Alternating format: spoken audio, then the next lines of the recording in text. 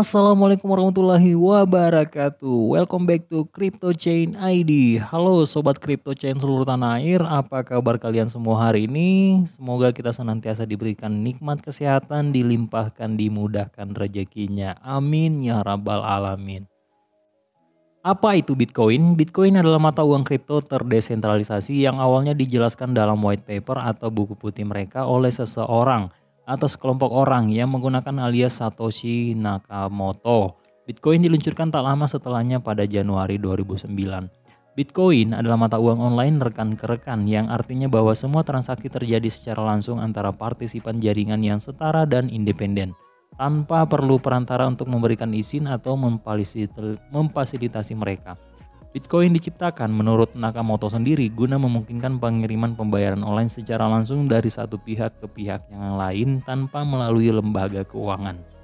Beberapa konsep untuk jenis serupa dari mata uang elektronik terdesentralisasi mendahului Bitcoin, tetapi Bitcoin memiliki keistimewaan sebagai mata uang kripto pertama yang dimulai digunakan secara aktual. Siapa penemu Bitcoin? Penemu asli Bitcoin dikenal dengan nama samaran yaitu Satoshi Nakamoto.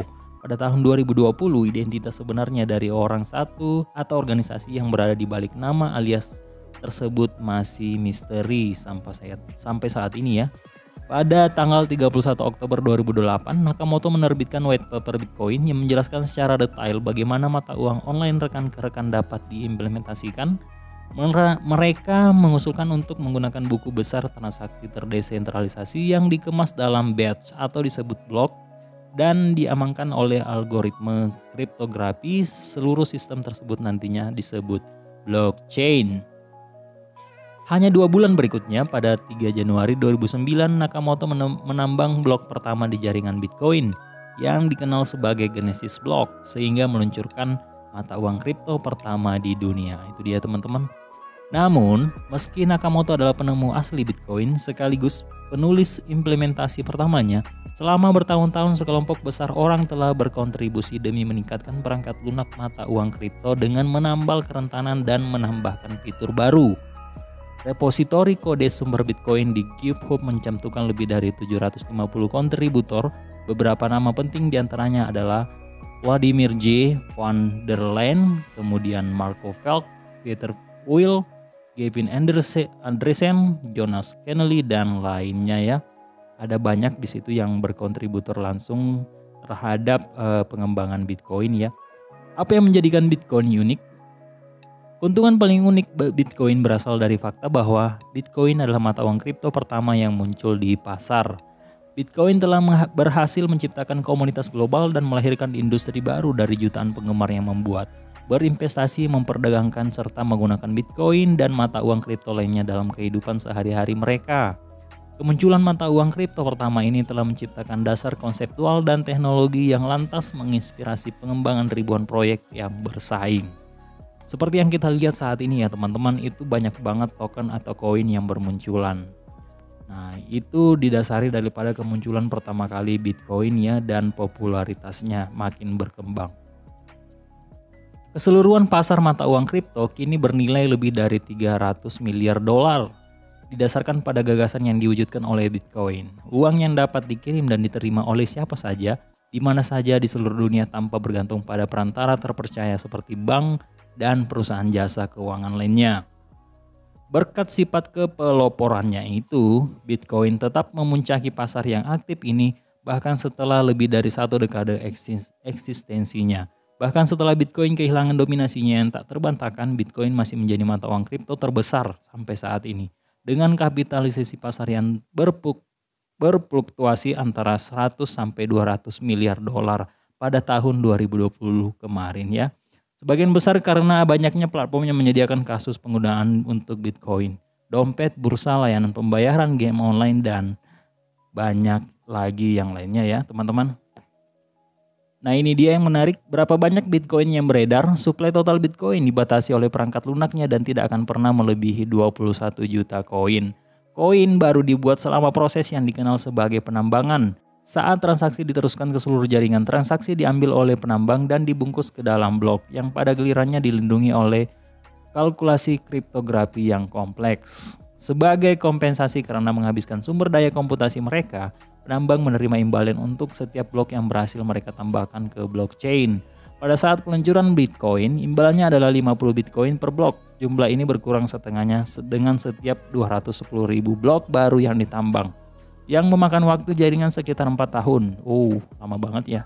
Pada tahun 2020, imbalan blok telah dibagi dua selama tiga kali dan terdiri dari 6,25 Bitcoin. Bitcoin belum dibuat sebelumnya, artinya tidak ada koin yang ditambang atau didistribusikan di antara para penemu sebelum Bitcoin tersedia untuk umum. Namun, selama beberapa tahun pertama keberadaan Bitcoin, persaingan antar penambang relatif rendah, memungkinkan partisipan jaringan paling awal menghimpun koin dalam jumlah besar melalui penambangan reguler. Satoshi Nakamoto sendiri dipercayai memiliki lebih dari satu juta Bitcoin. Oh, banyak banget ya, ya koin yang dimiliki oleh penemunya ini. Bagaimana jaringan Bitcoin diamankan? Bitcoin diamankan dengan algoritma SHA-256 yang termasuk dalam kelompok algoritma hashing SHA-2 yang juga digunakan oleh Fork Bitcoin Cash atau BCH serta beberapa mata uang kripto lainnya. Nah ini dia, di mana Anda dapat membeli Bitcoin. Bitcoin dalam banyak hal hampir identik dengan mata uang kripto yang berarti Anda dapat membeli atau menjualnya di hampir setiap bursa kripto, baik untuk uang fiat, mata uang kripto lainnya. Beberapa pasar utama tempat tersedianya perdagangan Bitcoin seperti Binance, Coinbase, OKEx, Kraken, Huobi, Hobi, Global Bitfinex, dan lain-lain sebagainya ya. Hampir semua bursa saat ini itu ada Bitcoinnya. Kalian bisa beli Bitcoin di situ. Itu dia teman-teman informasi singkat tentang Bitcoin. Siapa penemu Bitcoin, kapan Bitcoin itu muncul dan di mana kalian bisa bit beli Bitcoin. Selengkapnya kalian bisa baca semuanya di sini ya. E, di sini saya menggunakan Coin Market Cap. Kalian bisa langsung masuk di sini. Di sini ada penjelasan eh, lengkap tentang Bitcoin dan tautannya di sini ada juga. E, websitenya bitcoin.org, technical technical documentationnya, short kodenya dan explorersnya di sini kalian bisa lihat uh, blockchain info, kemudian block cipher, kemudian blockchain dan explorer via BTC uh, eh, dan CoinMarketCap juga ada ya di situ. Redditnya juga ada itu dia teman-teman. Semenjak kemunculan Bitcoin ini itu banyak banget orang-orang yang awalnya itu nggak percaya ya, termasuk saya sendiri.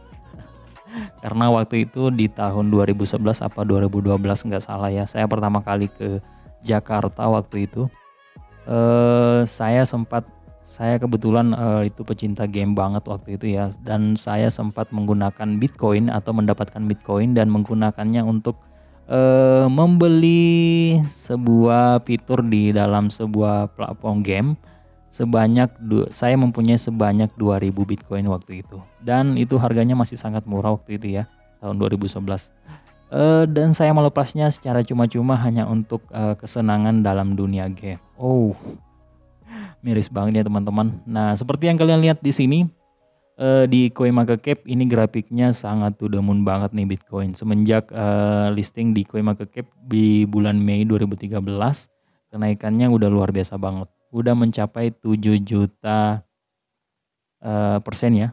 Oh, keren banget nih. Gila kan?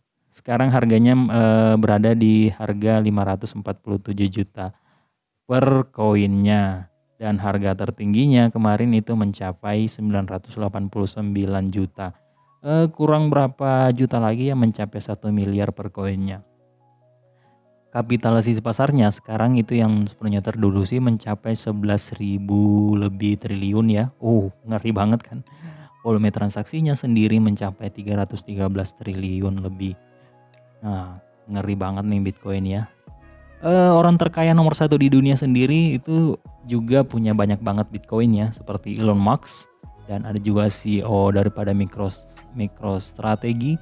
Kemudian yang paling uh, viral kemarin itu ada sebuah negara namanya El Salvador itu mengadopsi Bitcoin sebagai uh, currency mereka atau alat tukar yang sah di negara mereka. Sementara uh, dam-damnya atau koreksinya Bitcoin itu mereka atau presidennya itu uh, siapa nasi namanya? Si Bukelele ya. Itu uh, kalau bitcoinnya koreksi dia pasti serok lagi tuh. Bitcoin inilah yang uh, melahirkan banyak banget token-token atau koin uh, keren lainnya ya teman-teman. Sampai sekarang uh, tercipta yang namanya NFT dan Metaverse. Semuanya diawali oleh Bitcoin ya teman-teman. Nah ini dia uh, kalian bisa beli Bitcoin di semua di hampir semua bursa yang ada di dunia ya. Bahkan di toko kripto, Indodax dan uh, Pintu maupun yang lain-lainnya bursa yang ada di Indonesia itu semuanya menyediakan Bitcoin. Kalian bisa staking, bisa uh, scalping, semuanya bisa di situ ya. Uh, beli atau sekedar hold aja untuk mendapatkan profit yang gede oleh dari Bitcoin itu kalian bisa melakukannya semua di hampir semua bursa yang ada di dunia. Uh, seperti yang kita lihat di sini urutan pertama Bitcoin ya, teman-teman. Uh, next episode kita akan membahas Ethereum dan selanjutnya yang lain-lainnya ya. Sampai uh, apa ada updatean terbaru lagi, ada peningkatan atau uh, apa penurunan daripada sebuah token atau koin yang ada di urutan daripada aset kripto yang ada di CoinMarketCap berdasarkan kapitalisasi pasarnya. Terima kasih sudah nonton, salam cuan.